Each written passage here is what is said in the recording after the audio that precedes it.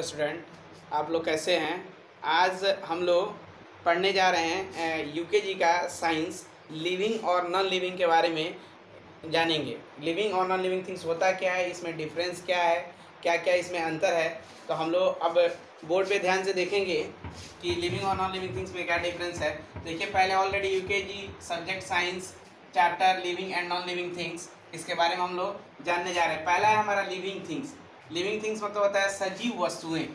तो things having life जिस, जो भी वस्तुएँ, जिसका कोई ना कोई जीवन चक्र हो या जीवन हो, उसको हम क्या कहते हैं? लिविंग थिंग्स कहते हैं। जैसे मैन हो गया प्लांट हो गया एनिमल्स हो गया। आप लोग देखते हैं अपने आसपास, अपने मम्मी मम्मी पापा का भी हेल्प ले सकते हैं कि अक्सर देखते हैं कि कुछ ऐसा थिंग्स होता है, जो ग्रोथ भी करता है और धीरे धीरे बढ़ के बड़ा हो जाता है, उसको भोजन की आवश्यकता होती है, उसको ऑक्सीजन की अलग अलग चीज़ों की आवश्यकता पड़ती है, वो लिविंग थिंग्स के कंडीशन को बताता है, यानी हमारे सजीव वस्तुओं को डिफाइन करता है।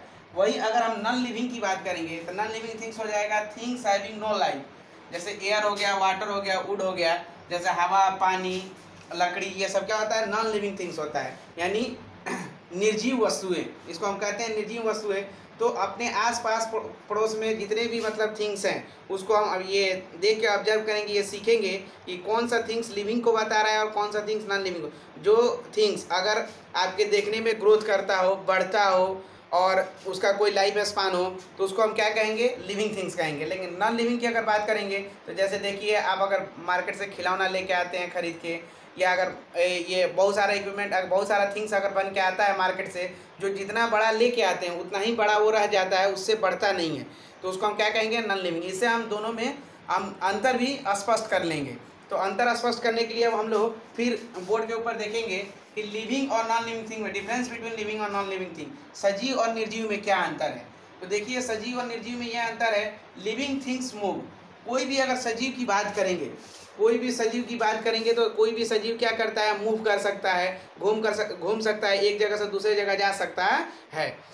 उसके बाद से सेकंड इसमें कंडीशन आ जाएगा, जैसे अब फिर नॉन लिविंग में हम लोग देख लेंगे कि यही क्लियर हो जाएगा। निर्जीव वस्तुएँ क्या होता है? Living things do not move जैसे नॉन लिविंग थिंग की अगर बात करेंगे तो अभी नॉन लिविंग थिंग क्या करता है? डू नॉट मूव जैसे हम फिर उस कंडीशन में आएँगे नॉन लिविंग थिंग के कंडीशन में जैसे कोई भी अगर ए, कार खरीद के लेके आते हैं अभी नए में जेसीबी जो खरीद के लेके आते हैं हम लोग मूवमेंट के लिए ये जितने कंडीशन में मूवमेंट होता है तो इसमें कोई मूवमेंट नहीं जब तक हम उसमें ताकत नहीं लगाते हैं वो आगे नहीं बढ़ सकता है वो बड़ा नहीं हो सकता है। इसलिए नॉन लिविंग थिंग के कंडीशन को क्या करता है वो बताता है। जैसे अब सेकंड पॉइंट आएँगे इसका।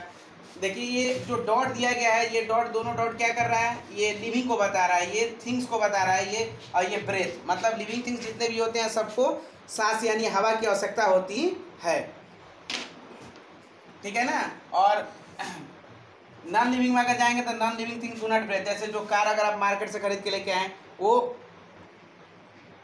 ये नॉन लिविंग थिंग क्या करता है? तो उसको हवा की आवश्यकता नहीं पड़ती है। और थर्ड पॉइंट हम आ जाएँगे living thing grow living thing grow living thing क्या करता है? ग्रोथ करता है, यानी बढ़ता है। जैसा ऑब्जर्वेशन कीजिए, अगर आपने घर के बगल में अगर एक फ्लावर्स लगाए हैं, एक फूल का पेड़ लगाए हैं तो देखिए कि डे बाई डे क्या करता है वो? इंक्रीज करता है। डे बाई डे वो आगे बढ़ते रहता है, एक दिन बड़ा होकर क्या करता है? फ्लावर जनरेट करने लगता है। इससे ही हम पहचान सकते हैं कि ये लिविंग थिंग है। लेकिन वहीं अगर एक आपके घर के अंदर अगर चेयर रखा हुआ है तो चेयर कभी भी बड़ा नहीं हो सकता है। एक बार जो बना कर रख दिए, उतना ही बड़ा रहता है। टेबल है, बेंच है, जितना बड़ा है उतना ही बड़ा रहता है, वो कभी बढ़ नहीं सकता, है? इसलिए दोनों में लिखा हुआ है कि living thing growth non living thing do not grow, यानी निर्जीव कभी भी बढ़ता नहीं है। Living thing reproduce living thing क्या करता है? अपने जैसा ही काइंड यानी अपने जैसा प्रकार को क्या करता है? जन्म देता है। लेकिन नॉन लिविंग थिंग क्या करता है? कभी भी रिप्रोड्यूस नहीं कर सकता है। जैसे आप लोग अक्सर घर के अंदर मम्मी, पापा अगर मैंगो या आम खरीद के लेके आते हैं और हम लोग आम अगर खा लेते हैं और खाने के बाद उसकी गुटली जो उसका बीज होता है हम उसको बाहर फेंक देते हैं, कुछ दिन के बाद क्या करता है? वो ऑटोमेटिकली वो रिप्रोड्यूस कर जाता है। फिर उसके जगह पे एक छोटा सा प्लांट तैयार हो जाता है, जिससे हम लोग ये पहचान सकते हैं कि ये लिविंग थिंग है और मान लीजिएगा अगर चेयर पर हम बैठे हैं, टूट गया, कहीं फेंक दिए तो फिर वो चेयर तो बन नहीं सकता है, उसके लिए फिर हमको क्या करना पड़ता है? किसी ना किसी इंसान यानी किसी भी मनुष्य की मदद लेना पड़ता है, जिससे फिर हम दूसरा चेयर तैयार कर सकते हैं। तो दोनों में यही डिफरेंस था और आज के वीडियो में यहीं तक। अगले वीडियो के लिए फिर डेट्स